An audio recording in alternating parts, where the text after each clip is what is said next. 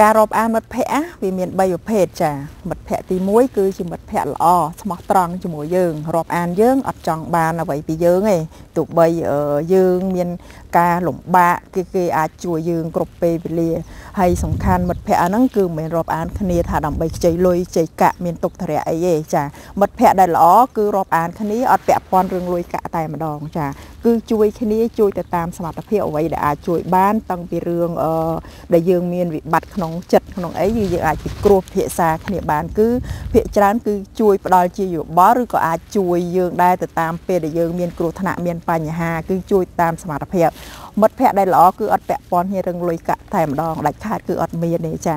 ហើយអាមិត្តភ័ក្តិទី2ទៀតគឺមិត្តភ័ក្តិដែលនាំយើងចុះនរកហ្នឹងហើយមិត្តភ័ក្តិគឺដែលស្គាល់យើងរាប់អានយើងដើម្បីតែប្រយោជន៍តខ្លួនរបស់គេមិត្តភ័ក្តិហ្នឹងគឺពាក់ព័ន្ធចាប់ដើមរាប់អានយើងបានបន្តិចគឺពាក់ព័ន្ធរឿងលុយកាក់ចង់ខ្ចីលុយកាក់យើងព្រោះយើងទៅធ្វើនេះទៅធ្វើនោះធ្វើម៉េចឲ្យយើងចំណាយអស់លុយទៅលើគេបងខាត ហើយវានឹងមានបញ្ហាអាហ្នឹងហើយគេហៅថាមិត្តភ័ក្តិដែលវាគិតតែពីផលប្រយោជន៍របស់គេចាហើយមិត្តភ័ក្តិអញ្ចឹងគឺយើងរាប់អានទៅអត់មានភាពរីចម្រើនទេហើយមិត្តភ័ក្តិទី3នោះគឺជាពពួកក្រុមមិត្តភ័ក្តិដែលវាចូលចិត្តចេះដឹងរឿងយើងគេហៅថាពពួកលមាស់មាត់ស៊ីត្រាវចាពួកអញ្ចឹងគឺចូលចិត្តនិយាយដើមយើងទៅប្រាប់គេចូលចិត្តនិយាយដើមគេមកប្រាប់យើងហើយមិត្តភ័ក្តិបែបអញ្ចឹងគឺគាត់ចូលចិត្ត ចេះដឹងរឿងយើងចង់ដឹងរឿងអាចកំបាំងរឿងផ្ទាល់ខ្លួនរបស់យើងហ្មងប៉ុន្តែមិនមែនថាចង់ដឹងហ្នឹងដើម្បីអឺភាពត្រេកអរចូលរួមចំណែកបាក់សណុកឬក៏ផ្ដល់យោបល់យើងខុសត្រូវឯងមិនអញ្ចឹងទេគឺចង់ដឹងរឿងយើងហ្នឹងដោយក្នុងភាពចំណែននិន្ទាឈ្នានេះបើសិនយើងមានការរីកចម្រើនក៏មិន